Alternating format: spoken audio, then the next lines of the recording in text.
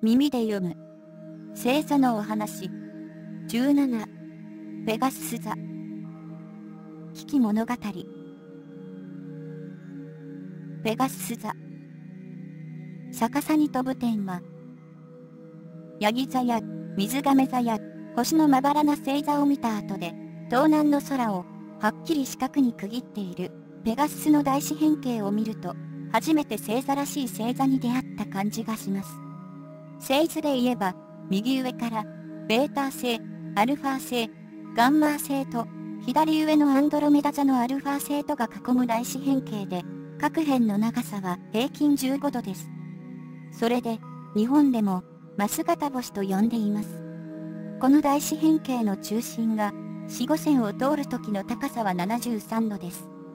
また、この大四辺形の内側には、細かい星が少しあるだけなので、空に黒く窓を開けたように見えます。ペガススは、ギリシャ神話に出てくる羽の生えた天馬で、大四辺形は馬の腹に当たり、尾や足は雲に隠れていると考えます。馬の首は、アルファ星から西へ、水亀座の上へ伸びる星の列で、鼻先の二等星は、金色とすみれ色の美しい二重星です。そして、前足は、ベータ星から伸びる星の曲がった枝です。つまり、天馬は、背を下にして、逆さまになって空を飛んでいるわけです。大四辺形から北極星へ。ペガススの大四辺形の4つの星の距離は、一番遠いガンマー星が約500光年、他の星は100から200光年ぐらいで、この大四辺形も見かけだけのものであることがわかります。ベータ星は直径2億4000万 km 以上もあり、太陽の170倍くらいの超巨星で、色が赤みがかっているのもそれを示しています。次に、大四辺形の各辺の長さは平均15度ですが、細かく言えば、北の一辺は南の一辺より2度だけ短いわけです。つまり、正方形ではありません。東の辺と西の辺とを北へずっと延長すると、その直線は平行せずに、約60度先で一点に交わります。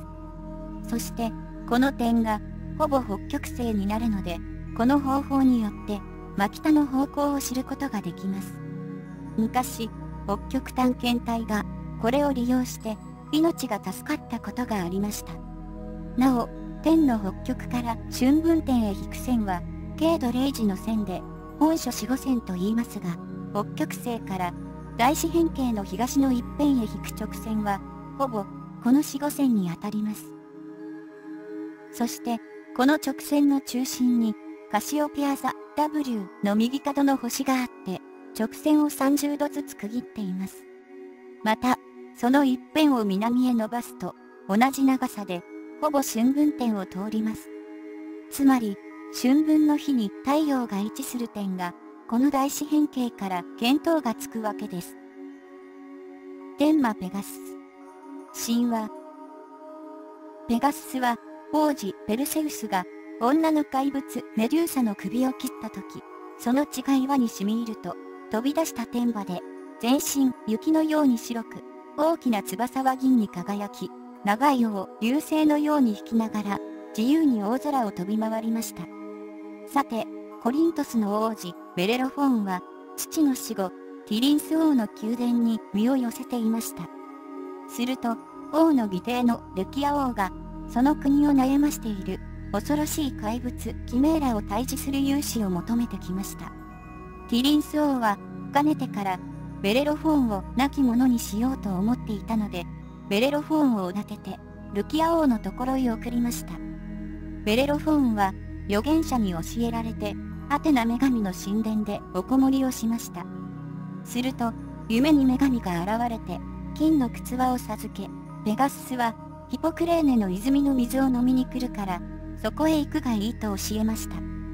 その泉へ行って待っていると、果たして、天馬が空から舞い降りたので、金の靴輪をかけてやると、ひどく勇んで、背に乗れと促しました。そこで、ベレロフォーンはそれにまたがって高い空を飛んでキメーラの住処に着きました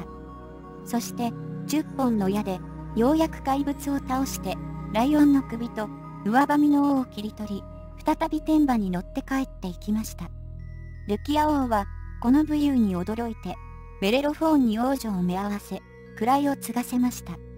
ところが、ベレロフォーンは、だんだん自分の武勇におごるようになって、ついには天馬に乗って、オリンポス山へ登ろうとしました。そこで、大神ゼウスが、アブを放って天馬を刺させたので、天馬はベレロフォーンを振り落とし、そのまま空に駆け上がって、この星座となりました。